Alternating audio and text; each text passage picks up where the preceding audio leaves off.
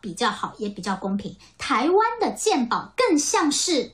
公益，台湾籍女子上海媳妇拍片当网红，自称台湾妹子，却大力抨击台湾人自豪的鉴宝制度。为什么老有人会把台湾鉴宝吹捧成像神话一般的存在呢？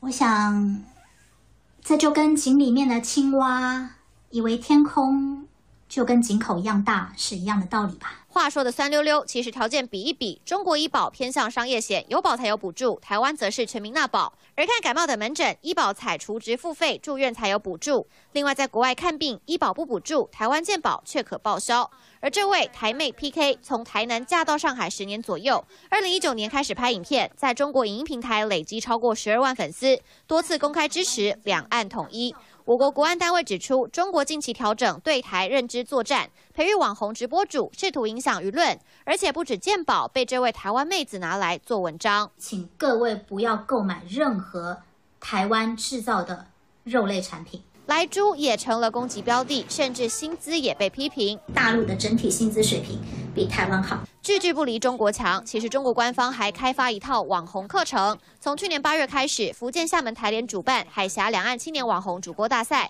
类似活动，浙江也有训练怎么拍短影音、秀场直播、直播带货。短多长空，短期间看起来会有混淆视听的效果，不实甚至是丑化台湾的言论，会造成台湾的明星更加的反弹。网红培训看似不着痕迹，是是否涉及影响台湾选举等？国安法、反渗透法适不适用？政府似乎得更全面防堵红色渗透。三岁流行张慧琪报道。